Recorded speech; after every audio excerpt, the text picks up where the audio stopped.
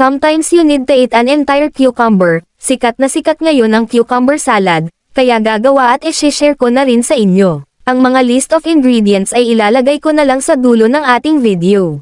Una, hiwain ang pipino at alisin yung seeds nito, hiwain ito into bite size, pwedeng balatan kung ayaw ninyo ng balat sa pipino, same rin sa kamatis, alisin ang seeds nito at hiwain rin ng maliit. Ganon din sa iba pang mga sangkap, mansanas at isang piraso na red onion. At dahil wala akong lemon, ay kalamansi na lang ang ginamit ko mga apat na piraso lang nito. At once na prepare na ang mga sangkap na gagamitin ay i-arrange ito sa isang bowl.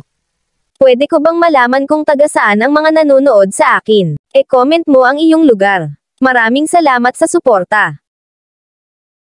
At gagawa naman tayo ng kanyang dressing, simple lang ito, sa isang bowl ay paghaluin lang ang mga sumusunod, 80 ml na mayonnaise, squeeze calamansi, again kung walang calamansi o lemon pwede rito ang suka mga 1 2 tablespoon, kaunting asin at ground black pepper, at naglagay na rin ako dito ng garlic powder.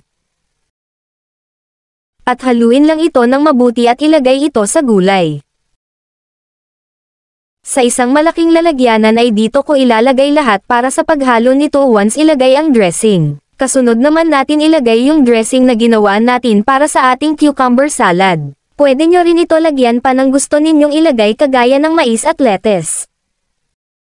Once mahalo na ito ay dito natin ilalagay ang boiled eggs, ito ay tatlong piraso, hiniwa ko lang ito into bite size, sa panghuli ko ito nilagay para hindi gaano masira ang itlog once hinalo-halo, at pwede na yan kainin, pero ako nilagay ko muna sa ref para lumamig ng kaunti bago kainin. Nung natikman ko ito, grabe din na inabot ng kinabukasan at naubos agad namin, masarap siya at talagang nakakabusog na rin kaya pwede kang magsimulang mag-diet na di gaano nagfa-fasting o kakaunti lang ang kainin. At pwede rin siya i-serve sa mga handaan as a side dish.